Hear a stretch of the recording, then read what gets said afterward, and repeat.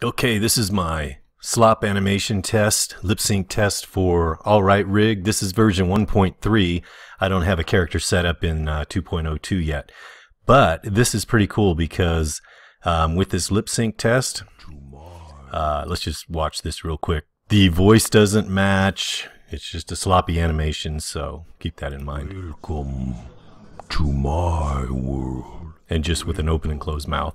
To my world. Welcome to my world. Wel- So it's scrubbable right here. to my world. You have Let me move this down a little bit so we can see our keyframes.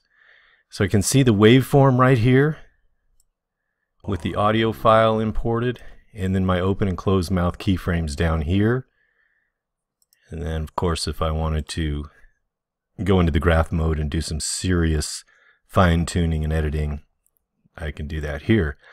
So, good job, Alexander, man. I've been waiting for this for a long, long time to be able to do uh, this type of animation, um, lip sync, which is the the holy grail. This is amazing.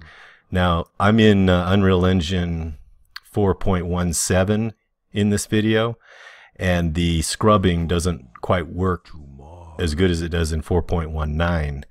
But over there it works, and you can just hold down the mouse key, and it just stays frame accurate to the uh, morphs in the animation. So this is exciting news. So I'm really excited with what you're doing. Keep up the good work.